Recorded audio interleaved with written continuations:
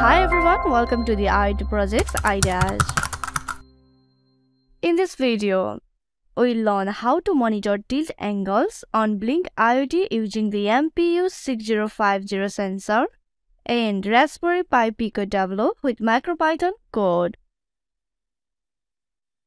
In the Thonny ID console, you can see temperature, accelerometer, and gyroscope values, along with tilt angle in X, Y, and Z axis, and pitch and roll values. However, the code doesn't calculate the yaw value, as it requires a magnetometer that MPU6050 does not have. Hence, the yaw angle cannot be accurately derived from an accelerometer and gyroscope. Before we begin, we want to give a huge shout out to our sponsor for this video, PCBWay.com. PCBWay is a one-step solution for all our PCB needs, providing high-quality PCB manufacturing and assembly services at affordable prices. Be sure to check out their website for more information. The link is provided in the description. To follow along with this tutorial, you will need the following materials.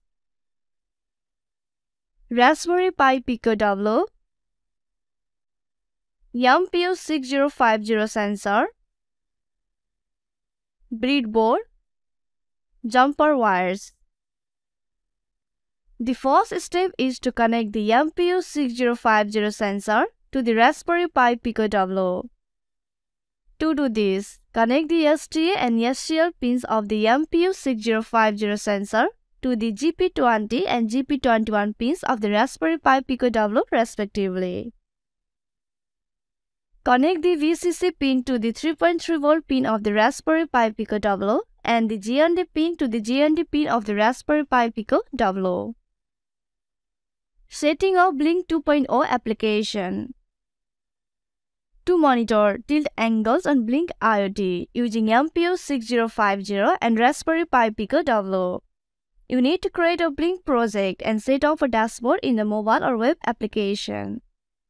Visit blynk.cloud and create a Blynk account on the Blynk website, or you can simply sign in using the registered email ID.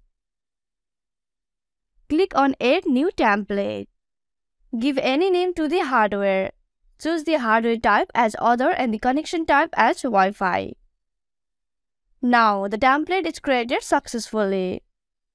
Now go to the web dashboard. In the web dashboard, drag and drop four Gauge widget on the dashboard. You need to set all the four widgets one by one. Assign virtual pins V0, V1, V2 and V3 to temperature, angle X, angle Y and angle Z, as shown here.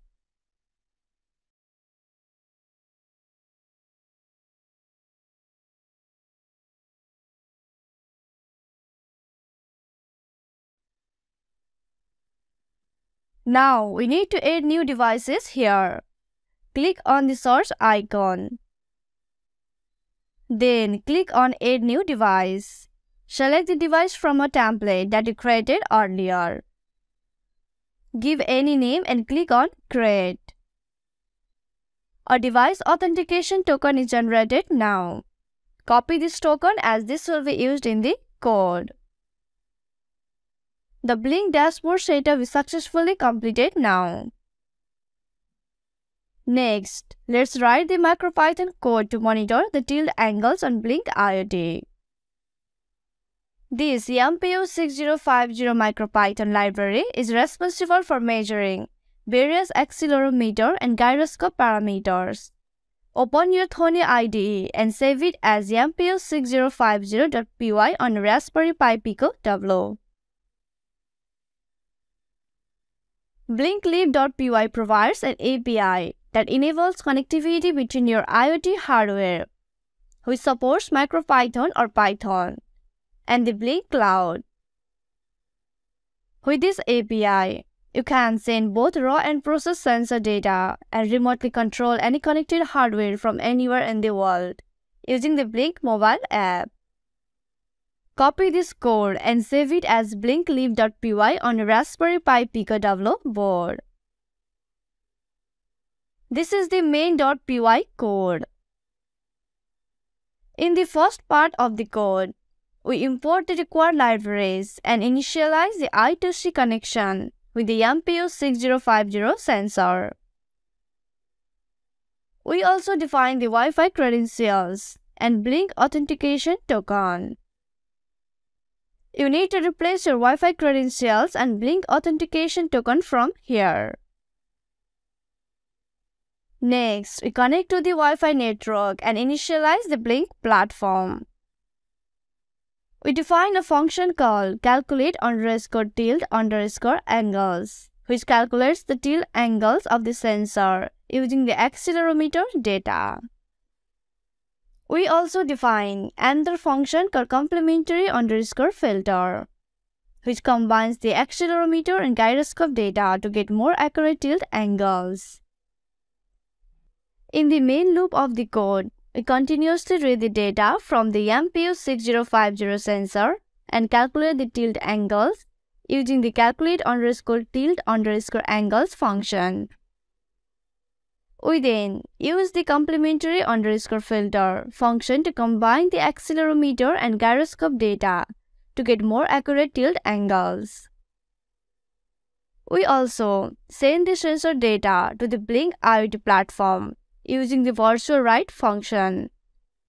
We use virtual pins to send the temperature, tilt angles along the x, y and z axis and gyroscope data to the Blynk platform. Finally, we run the Blynk platform and delay for 1 second before repeating the loop. Now save this code as main.py on Raspberry Pi Pico board. Now you can click on the Start or Run button on Thonny IDE to run the code. You can now test the Blynk Web app. Open the Web app and navigate to the project dashboard. Now you can see the MPU6050 sensor data gets uploaded every second. You can also configure your mobile dashboard by following these steps as shown in the video. As you can see on my screen, I have opened the Blynk app on my phone. I have already created a new project and added the required widgets to display the data.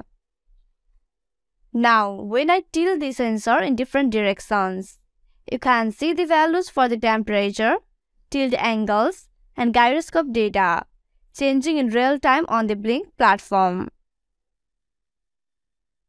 And that's it for this project. I hope you found this tutorial helpful.